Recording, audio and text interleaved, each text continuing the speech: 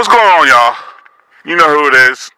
Mr. Wormack, aka Low Rent, aka The Ignorant American, aka The Truth As You Know It, aka Dirty Business, aka The Jet Jaguar of YouTube. Alright, folks, how you doing today? Today we're going to have a topic we're going to talk about, we're going to touch on. And I know it's going to be one of these uncomfortable truths you hear in the community, but unfortunately, it's one of these truths that we have to talk about in the community to hopefully try to try to help the community, you know, do better as a whole. Now, when I talk about people, I talk about us in general, and I do it, and I don't generalize. I, when I talk, I talk about, and I don't talk in absolutes. I, I don't.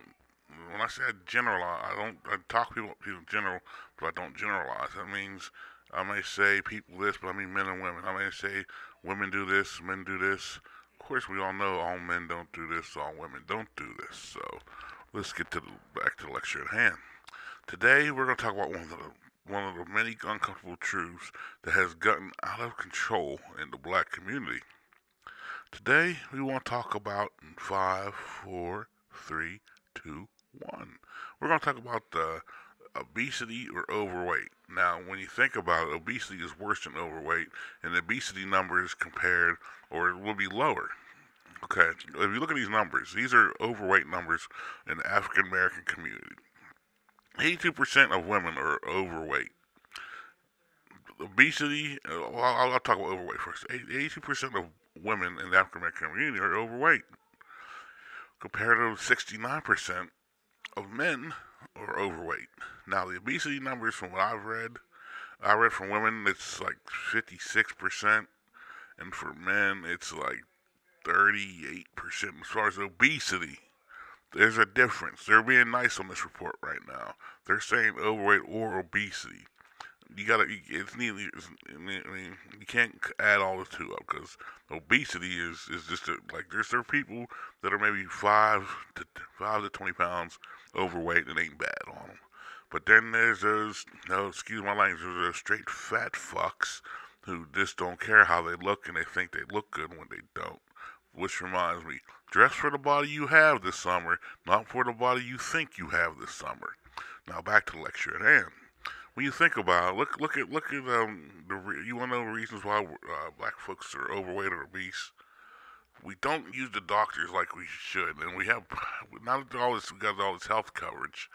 If you look at your Facebook timelines, why is it that black people wait to go to go to the emergency room when they're sick? I mean, I know they don't know how to habit, but don't they understand it costs them more? Well, if they ain't paying, they don't care, so it costs us more. Going, you're better off going to your doctor and having a plan. Like a lot of you, a lot of us have high blood pressure, hypertension. A lot of us don't know that because you don't know why they don't. They don't find out till they go to, to the emergency room. But if you go to the um, you go to a doctor, say say when you feel so sick, okay, say you go to the emergency room. Then after that, follow up with your doctor. Then have a plan every month, every two months, every three months, every every at the least every four months, like three times a year.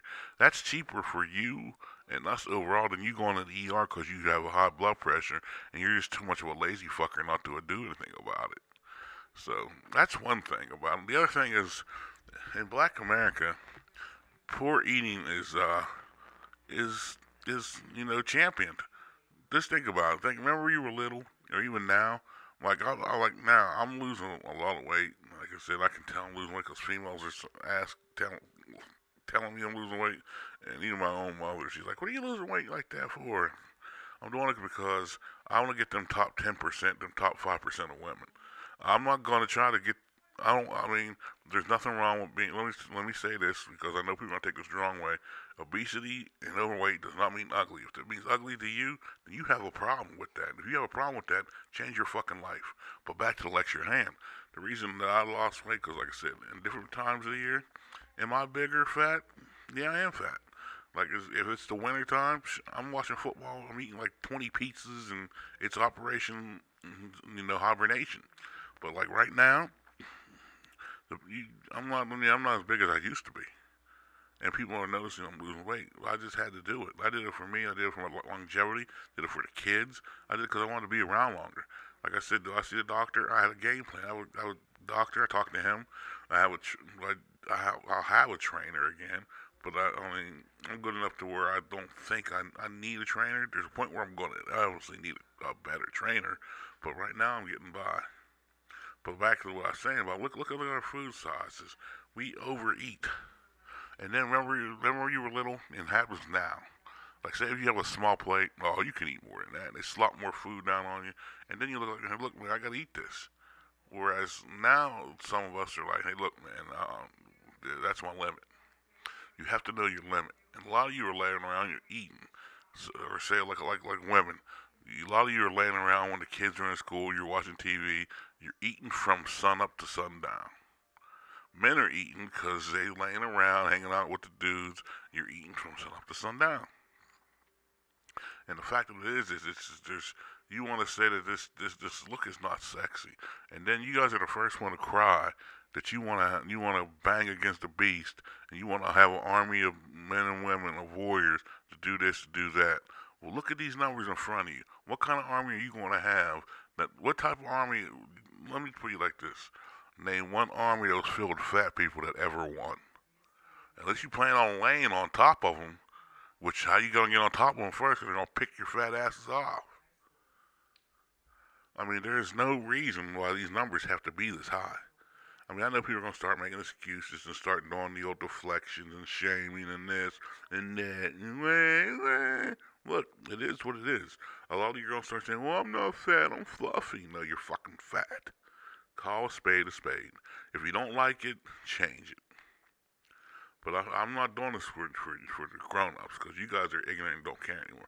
I'm doing this for the kids because now the kids are coming out fat with all these medical conditions, like they're having juvenile diabetes because you're fat, lazy asses, or they're, they're laying around eating and causing this stuff to happen. Now, this stuff doesn't have to happen, but again, you got to consider the sources. You, you got to like here. Here's what they do. They have a they have a New Year's resolution that lasts three days, and then they come to the summer talk about they look good. You look um, look guys that think that you look good here's the, the women don't even want for fat dudes. There's studies where I can bring up where fat women don't want fat dudes, and, you, and guys, you know that they want their tall, dark, and handsome. But if you if, you if you don't want a fat chick, you're fat shaming. But that's another video for another day. But fact of the matter remains, this is embarrassing, and this is true. And then people can say, well, they didn't interview me. Well, chances are you're fat. I mean, if, if they, I mean, it just, it's just, to me, it's disgusting where a lot of this can be. I mean, there's people that have glandular problems, yeah, the yada yada, say that, but not everybody does. A lot of, a lot of people are just straight lazy, and the government has done their job on us. Like I said, if, if y'all want to go to war, who, who wins a war fat people? And if you don't like what I'm saying, change your life, because everything I'm saying is straight facts. So. Like I said, look at this number 82% and 69%. That's why I'm the way I am with you women. Because I, I can get the top 10% now. So I'm good. Let let the guys sweat you that want you. I'm sure there's people out there like that. But not for me. So I'm out of here. Peace.